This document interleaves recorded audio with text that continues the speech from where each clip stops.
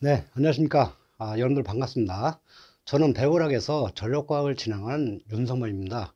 자, 오늘 첫째 시간인데, 전력과학 첫째 시간인데, 본 수업의 진도를 나가는 건 아니고요. 자, 여러분들이 전력과학을 공부해야 되는데, 전력과학이라는 과- 과목 자체가 어떤 내용을 배우는지 전혀 생소할 거고, 그 다음에 전력과학은 우리가 학습하면서 전력과학은 몇 점을 목표로 공부를 해야 되는 게 가장 합리적이냐, 그런 것도 제가 방향을 설정해 줄 테고요. 근데 마지막으로 전력공학 공부할 때, 아, 좀, 어, 학습 방법을 어떻게 할 거냐. 가장 효과적인 학습 방법은 어떻게 공부하는 게 좋은냐. 그런 세 가지 내용에 대해서 제가 설명해 드릴게요. 그래서 오늘 요 수업은요, 아, 본 진도를 나가는 게 아니고, 본 진도 나가는 게 아니고, 어, 좀 예비 강의에서, 오리엔테이션 시간에서 전력공학에 대해서 공부하는 원리, 그 다음에 전력과학의 학습 내용, 그 다음에 어느 정도 점수를 갖다가 취득하는 게 올바른 목표 설정이냐. 그런 내용에 대해서 제가 설명해 드릴게요. 자, 첫 번째, 첫 번째, 전력공학을 우리가 어떤 내용을 배우느냐. 전력공학의 학습 내용부터. 자, 전력공학은 우리가 수업에서 뭘 배우냐면요. 전력공학이라는 것 자체가, 전력공학이라는 것 자체가 우리가 한국 전력에서, 한전에서 전기를 만들어내서, 그죠?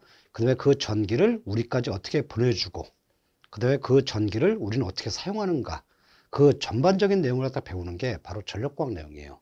자, 그러면 우리가 전력과학 학습 내용이 뭐가 포함될 거냐? 일단은요, 첫 번째가 일단 전기를 만들어내야 돼요. 그러면 전력을 생산하는 곳은 어디겠어요? 발전소죠. 발전소라는 말을 들어봤을 거예요. 그죠? 자, 발전소는 우리가 우리나라에서 는 사용하는 발전소가 크게 나누면 수력발전소, 그 대표적인 수력 발전소가 어디냐면 저 충주가 있어요. 충주. 충주 수력 발전소. 그다음에 두 번째가 화력 발전소. 대표적인 화력 발전소가 보령 화력 발전소가 있고요. 그다음에 원자력 발전소. 그죠? 원자력 발전소는 또 어디냐면 울진. 거기에 원자력 발전소가 있죠. 그다음에 최근에는 또 추가된 게 뭐냐면 새로운 발전, 신재생 에너지, 태양광 발전, 태양열 발전 뭐 이런 것들, 풍력 발전. 자, 그래서 발전 공학을 배워야 되는 거고. 그 다음에 전력을 갖다가 생산했으면 발전소에서 전력을 만들어냈으면 우리가 송전소를 통해서 전력을 보내줘야 돼요. 그래서 우리가 송전선로, 요 송전선로가 바로 송전공학이에요. 자, 그 다음에 어, 변전소에서 우리가 전압을 갖다가 좀 바꿔주고, 그 다음에 이제 변전소가 있고, 마지막으로 배전선로가 있어서 우리한테 전력을 다 보내주겠죠. 그래서 전력공학의 학습 범위는 발전공학, 발전소, 송전공학, 송전선로, 변전공학, 변전소, 배전선로, 배전공학 이렇게 네 단계로 나눠진 거예요. 자, 그 다음에 또 여러분들이 알고 있으면 좀 도움이 되는 게 그러면 발전소, 발전공학은 문제가 몇 문제가 나오느냐? 보통 통상적으로 두 문제, 세 문제 정도 나와요. 두 문제, 세 문제 정도. 그 다음에 송전공학, 송전선로에 대한 문제는 몇 문제 나오냐? 상당히 많이 나와요. 적게는 8문제, 많게는 12문제. 그러니까 많게 나오면 반 이상이 나온다 보시면 되는 거죠. 그 다음에 변전소하고 배전선로, 즉 변전공학하고 배전공학은 합쳐서 보통 작게는 6문제, 많게는 10문제 나와요. 자, 앞으로 저한테 공부할 내용이 저 요 네 가지 발전공학, 송전공학, 변전공학, 배전공학. 근데 지금 보면 알겠지만은 발전소, 즉 발전공학에 두세 문제밖에 안 나오죠.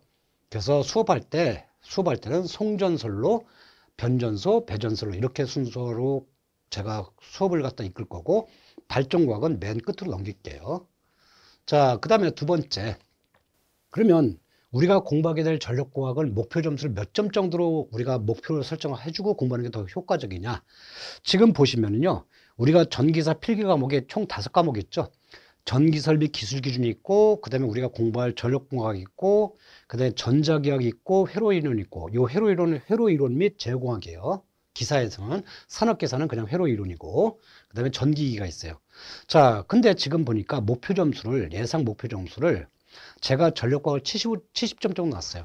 근데 여러분들이 좀 약간 이상하게 생각할 수 있는 게, 어, 전력공학은 주변에서 얘기를 들어보니까 전력공학 그렇게 어렵지 않은 과목이고, 보통 고득점이 나는 과목이다. 그럼 70점이 아니고 80점, 90점도 할 수 있지 않냐? 가능하죠. 근데 우리가 제가 이렇게 균형되게 이렇게 점수 이 목표 점수 갖다가 이렇게 균형되게 이렇게 분포시킨 이유가 이걸 생각하셔야 돼요. 전력과학을 고득점 맞는다고 해서 1차 필기 시험을 갖다가 합격하는 건 아니죠. 뭐냐면 총 다섯 과목을 어우러져서 평균 60점이 나와줘야 돼. 그럼 여기서 우리가 생각할 게 뭐냐면 이 다섯 과목 중에서 가장 상당히 힘든 과목들이 있어요. 그게 뭐냐면 여기는 전자기학이라는 과목이 상당히 수험생들은 부담을 느끼는 과목이에요. 그 다음에 또 과락의 위험성이 높은 과목이 전자기학도 있고 요 전기기기가 있죠. 수험생들이 가장 부담을 느끼는 과목은요. 요 다섯 과목 중에서 전자기학하고 전기기기를 갖다 상당히 부담스럽게 느끼고 실제로 시험장 갔을 때 다른 과목은 점수가 높아서 합격 점수가 됐는데도 불구하고 불합격하는 사람들이 바로 전자기에서 40점 이하로 떨어져서 과락이 되고 그 다음에 전기기에서 60일커녕 40점 밑으로 떨어져서 과락이 되는 경우 그러니까 한 과목이라도 4점 밑으로 나와서 과락이 되면 평균 점수 무시하고 전부 다 불합격이 돼 버리거든요. 따라서 어떤 균형되게 공부를 하기 위해서는 여러분들이 전자기학도 조심을 해야 되고요.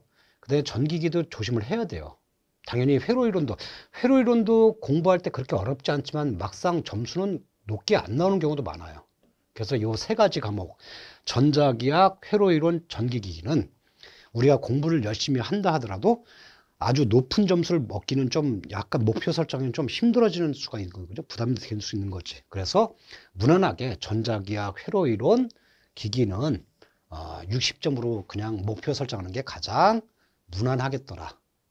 왜냐면 이 세 가지 과목을 갖다가 고득점 맞으려면 시간을 갖다 엄청 투자해야 돼요. 그럼 문제가 되는 게 뭐냐면 의의로 이런 기술 기준에서 잘못하면 점수가 상당히 떨어질 가능성이 있죠. 심지어 그런 학생도 본 적도 있어요.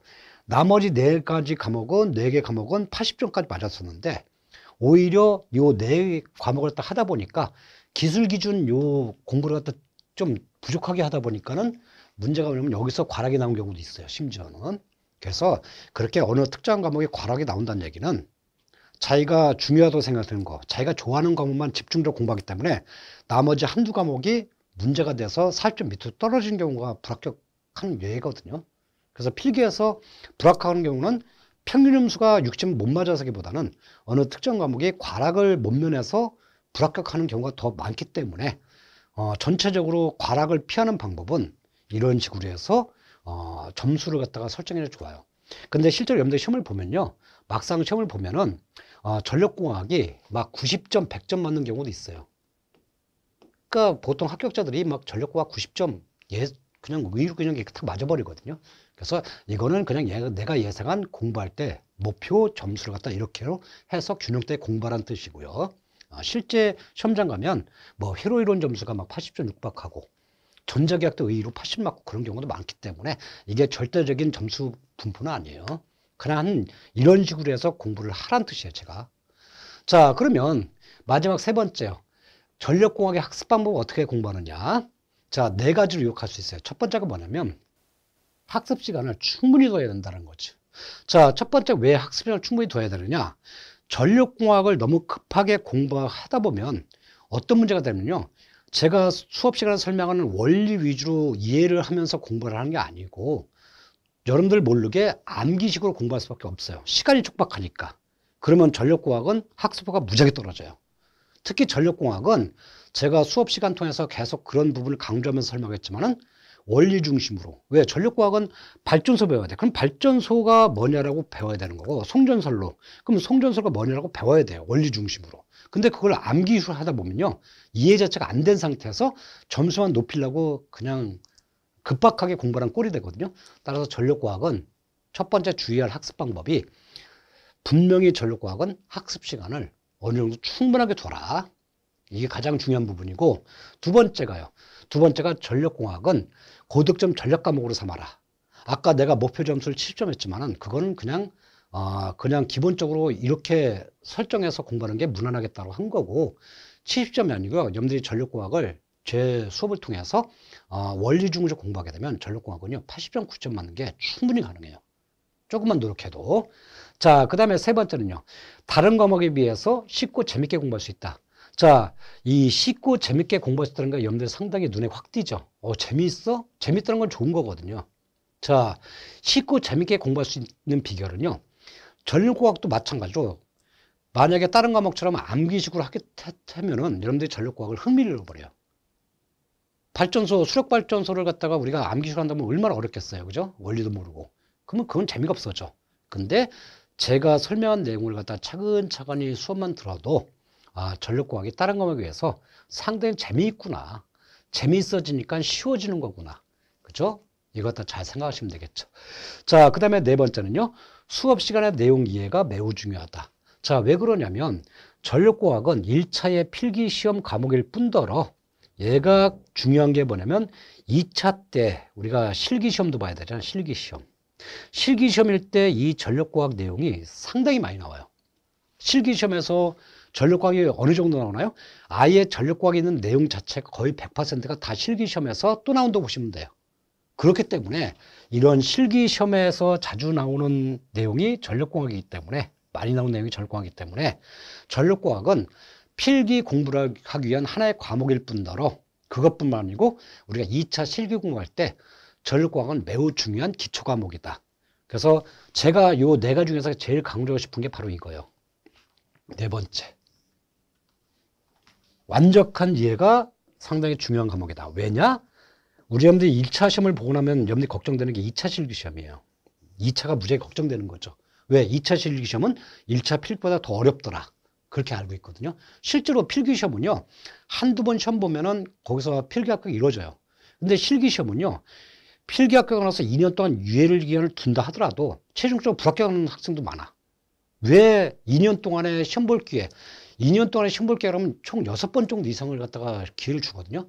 근데 시험을 6번 봤는데도 불합격하는 이유는요. 1차 필기 공부할 때 원리 중심을 하지 않고 너무 암기식으로 했기 때문에 2차에 적응이 안 되는 거야. 왜? 2차 시험은 우리가 주관식 논술형이에요. 지구 주관식이다 보니까 정확하게 모르면 못 쓰는 거야.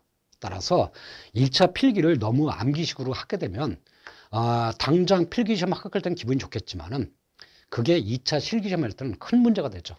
그래서 특히 나이가 많으신 분들, 그때 수학이 약간 짧으신 분들이 어떻게든 붙기 위해서 필기시험을 갖다 급조해서 암기식으로 주입하다 보니까 필기시험 어떻게든 합격하는데 왜? 찍기니까 어쨌든 60 맞거든요. 근데 그런 분들이 기초가 약한 분들이 문제가 뭐냐면 2차 실기시험 공부할 때 완전히 그때부터는 이제 장벽에 부딪히는 거죠. 한마디로 너무 어렵다 보니까 내가 전기기사 공부를 끝까지 해야 되는가 그런 의구심마저 들거든요. 따라서 그런 나중에 공부할 때 어려운 점을 좀 더 해결한 방법은 1차 공부할 때부터 좀 시간은 좀 걸리더라도 그죠? 1차 필기 한 번 떨어지더라도 2차 대백에서 아주 원리 중심으로 차근차근 공부하면 나중에 합격하는 그 기간이 짧아지는데 너무 급한 마음으로 1차 필기를 갖다가 암기식 공부하게 되면 그 기초가 부족하기 때문에 2차 실기 시험에서는 공부 자체가 안 되는 경우도 있어요. 이해도 안 되고.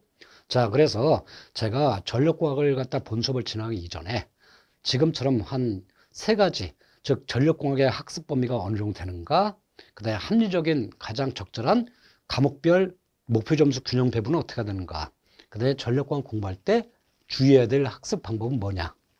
저, 요 1번, 2번, 3번, 4번 내용, 이거 유념해서, 어, 다음 시간부터 제가 본 수업할 때 이 내용을 참고로 해서 제 수업을 들으시면 돼요. 자, 그래서 오늘 수업은, 오늘 어, 내용은 전력공학을 본 수업을 진행하기 전에, 진도 나가기 전에, 네, 첫 번째 시간이니까 여러분들한테 약간 도움되는, 여러분들 참고되는 내용 갖다가 제가 설명해 드린 거예요. 짤막하게. 자, 그러면 오늘 수업은 여기서 끝내기로 하고요. 다음 시간부터 전력과학 일정서부터 우리가 좀 더 재미있게, 그 다음에 쉽게 그렇게 공부하도록 해보자고요. 제가 그렇게 수업을 갖다 이끌 거예요. 자, 오늘 내용은 여기서 마치겠습니다. 수고하셨습니다.